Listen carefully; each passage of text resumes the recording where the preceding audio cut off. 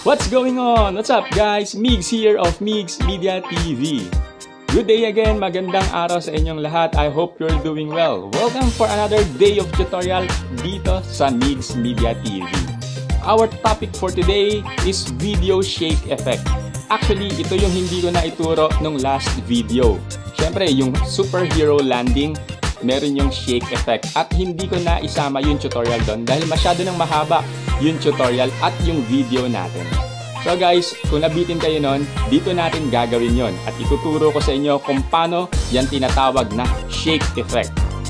Gaya nito. Yun, nag-shake. yan ang pag-aaralan natin ngayong video editing tutorial na ito. So guys, kung bago ka pa lang sa channel ko, Migs Media TV, gumagawa po ako ng vlogs, video editing tutorial, at namibigay po ako ng KineMaster Siyempre, kung wala ka pa niyan, visit mo lang sa video section ko or just click on the link above. At makukuha mo yan for free. Kung hirap ka namang i-download yan at kailangan mo ng assistance, just PM me. Ganun lang kasimple yon. At kung luma ka naman sa channel ko, syempre, panibagong kaalaman pa rin ang ibibigay ko sa inyo. Lagi tayong merong bago rito sa Migs Media TV, so always stay connected. So time to do this tutorial.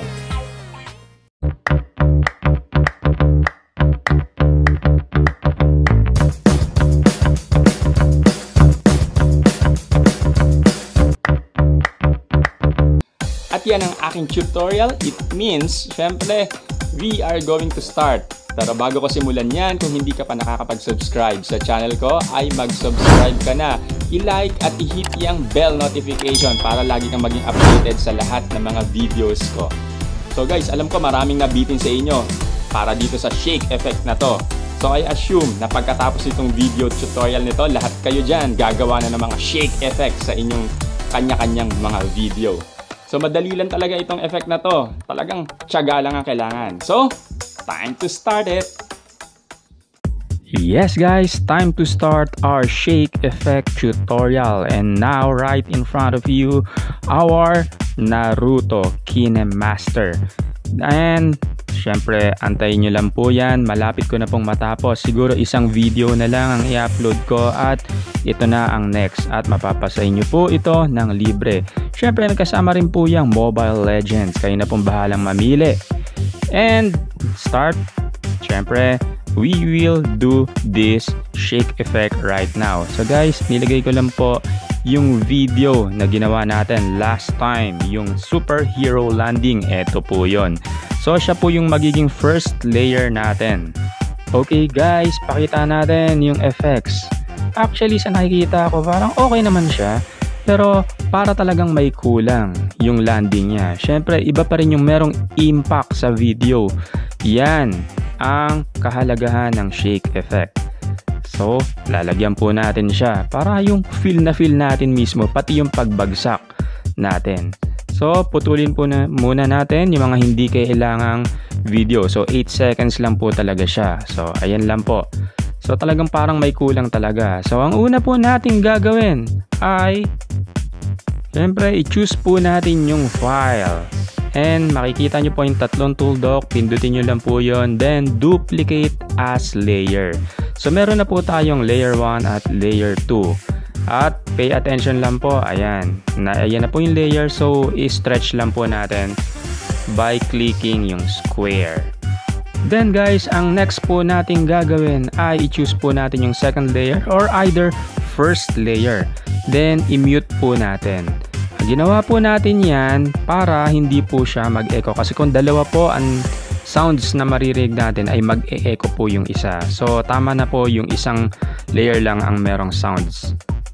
So guys, ang next na gagawin natin is stretch po na natin dahil kukunin natin yung mismong sequence ng ating landing. Yun po ang pinakakailangan lang po natin. Ayan na po guys, tamang timing lang po. Perfect timing ang kailangan ng ating landing. Then, let's cut. So, ayan na po. Tandaan nyo po, kinat po natin. At syempre, ang shake effect will only last for, I think, 1 second. Okay na yung 1 second or 1 and a half second. So, yun lang, okay na po yung shake na yon kasi landing lang naman po ito, eh, hindi naman earthquake. So, cut natin siya banda rito. Okay, so check na lang po natin kung 1 second ba na 1 second po siya. Ayan. Mga 1.05 seconds siya or 1.1 second. Pero okay na rin to. Ayan. So, let's go to the next step na gagawin natin. Yan, paliitin lang po muna natin. So guys, yung pinutol po nating sequence, yun po yung lalagyan natin ng effect. So ang gagawin po muna natin, syempre gagamitin, na, gagamitin natin yung key icon effect which is hindi pa siya available dahil naka-stretch po tayo ng screen. So i-off po natin siya. Yan, i-off po natin siya para magamit po natin yung key icon. So pag in-off po natin, babalik siya sa dati niya sukat, i-enlarge na lang po natin na kasinlaki ng screen. Perfect, ayan. So, pwede na po natin gamitin yung key icon effect. Pag chinus po natin yung sequence na yan, yung file na yan, ayan, lalabas po na activated. Pwede natin i-activate yung key icon. Ayan, pinindot ko na po. Next po na gagawin natin, since kinaklik na po natin yung key icon effect, ay, teka, mas maganda po ay i-stretch po natin yung video para mismong frame by frame ay syempre magawa natin ng effects, shake effect. So guys, pay attention, ganito lang po siya. Key icon effect, nakita nyo po yung point A, yung red circle, minove ko po yung video, Ayan, then minove ko yung screen. Minove ko ulit yung video, then minove ko ulit yung screen. Minove ko ulit yung video, then minove ko ulit yung screen. Ganun lang po siya kung nakikita nyo po yung sequence file po natin, nadadagdagan po ng red circle. So, ganun lang po. So, kada galaw po ng video, gagalaw rin po yung screen. Ganun po ibig sabihin nun. At dun lang po sa key icon effect, magagawa po yon. So move po natin yung screen at move rin po natin yung video. So ganyan po. So on and so on hanggang dulo yan na po yung gagawin nyo. Tiyaga lang po, tiyagain ninyo. Siyempre kung gusto nyo po guys ng mas malakas na impact, siyempre nasa, it will depend. It will all depend sa pag-move ninyo. Malayo pa ba? Pag-move ninyo ng screen. O nga, medyo malayo pa. Pero 1 second lang po yung pinag-uusapan dito, dito natin mga guys. 1 second. So guys, para mapabilis na at syempre matapos rin natin agad to na mas mabilis, finast forward ko na po. Ayan, naka fast forward na po siya. Para nandito na po kagad tayo sa dulo ng ating syempre sequence. At ayan, natapos din po natin ang paglagay natin ng ating movement sa ating screen using the key icon effect. At kung makikita nyo ay 1 second lang po siya.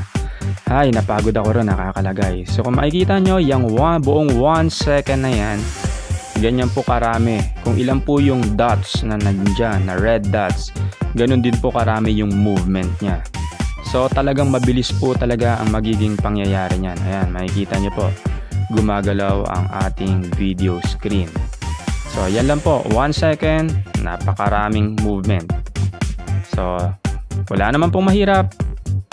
Play na po natin nang makita nyo ng buo. Cool.